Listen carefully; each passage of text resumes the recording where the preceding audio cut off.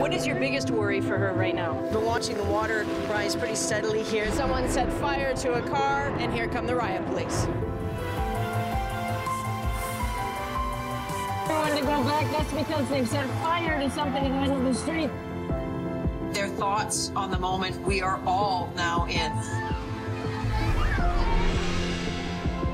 I'm Adrienne Arsenault. This is The National.